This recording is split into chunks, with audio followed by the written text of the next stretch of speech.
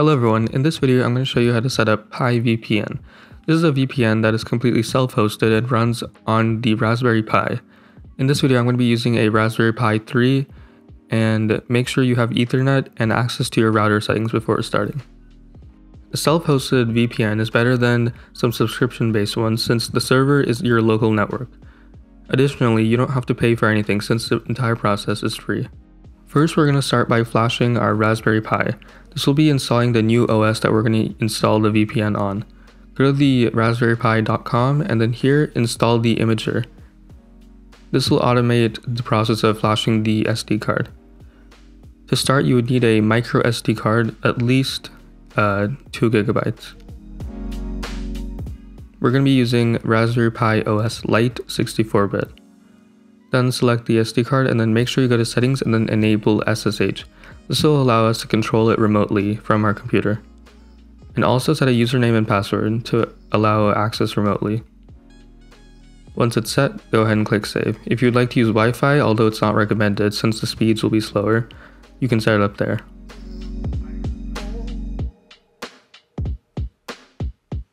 Once you're done, you can go ahead and hit write and then continue.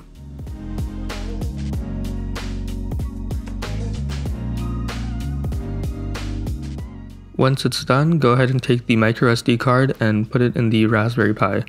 You can go ahead and power on the Raspberry Pi and make sure it's connected to Ethernet. Now we're going to move on to installing OpenSSH. This will allow us to remotely access our Raspberry Pi from our Windows computer. First, start by going to settings and then going to optional features. If you already see OpenSSH here, you do not have to do this. You can skip to the next step. If not, click view features and then add the OpenSSH client this is where how we can use the SSH uh, commands. Then click next and then install the feature.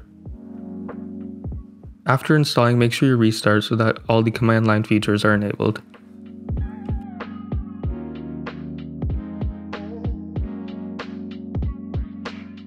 In order to connect to the Raspberry Pi using OpenSSH, we need the IP address of the Raspberry Pi. We can go to our router settings and then find the Raspberry Pi. Here you'll see the IP address.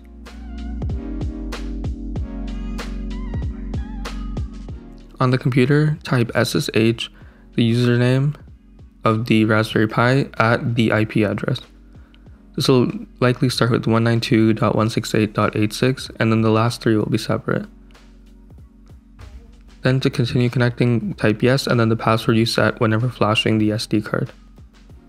And then here, once you see a green line with your username, that means you're connected. Now we can run the commands to install the VPN.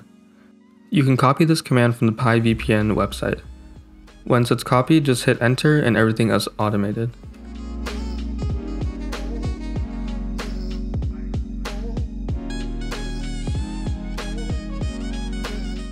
Once it completes the initial setup, you'll see the PiVPN automated setup installer. First, it'll ask for a static IP. Go ahead and hit OK, and then if you see a notice about IPv6, we can fix this later in the router settings. For now, just go ahead and hit yes. For the DHCP reservation, go ahead and hit no and set up static IP. If you know how to set it up in the router, you can skip the step and hit yes. For now, I'm going to hit no and then show you how to set it up later. Then click yes to keep the same IP, and then if you get this notice, we can fix this later as well.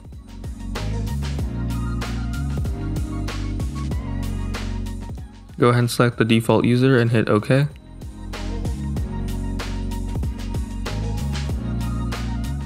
Here you'll see the option between WireGuard or OpenVPN. OpenVPN has more features and has more legacy features for computers. However, if you're going to use uh, the VPN on mobile devices such as laptops and phones, I recommend using WireGuard. WireGuard is also easier to set up and connect to the phone. In this video, I'm going to show you how to set up WireGuard.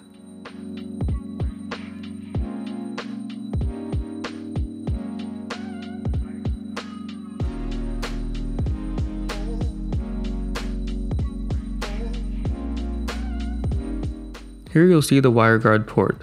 This will need a port forward later in the router settings. I recommend just using the default one. Here for DNS provider, you can use the same one that your network uses or Google or Cloudflare. I'm going to go with Cloudflare for this video. You can also use a custom one if you use an ad blocker such as Pi-hole.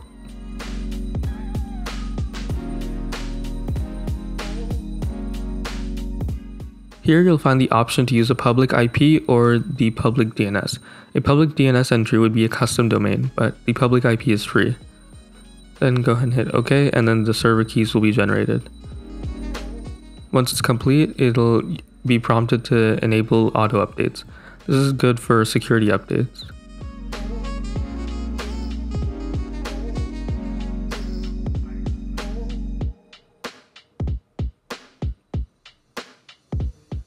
Once it's complete, PiVPN and the Raspberry Pi will reboot.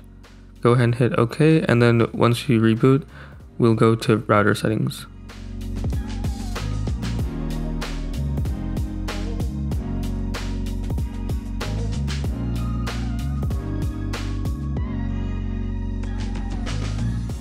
In the router settings, go to network settings and then find advanced networking. Here we can change the IPv6 status, which we would want to enable, and then we can also change the DHCP IP reservation.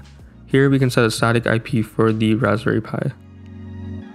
Once you find the Raspberry Pi, use the same IP that we used before.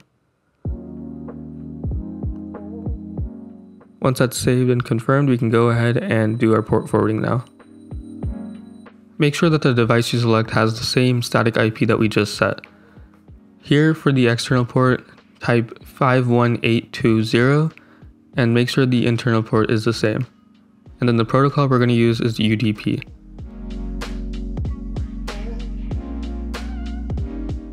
Once it's selected, go ahead and hit save, and then we're done with the router settings.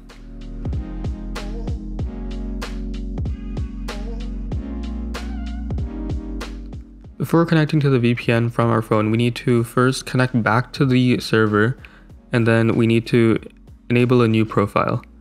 To do that, type in PiVPN add and then this will create a new VPN client and then we can name this whatever we like and then to generate a QR code, type in PiVPN-QR.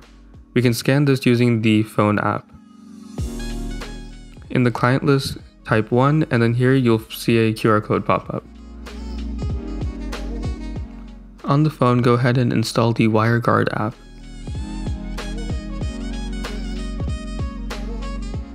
Once it's installed, click Add a Tunnel and then click Create from QR Code. Then go ahead and click Access the camera and then scan the QR code on screen. Here you can name the tunnel whatever you'd like. Once it's saved, make sure you allow VPN configurations and then now your VPN will be connected.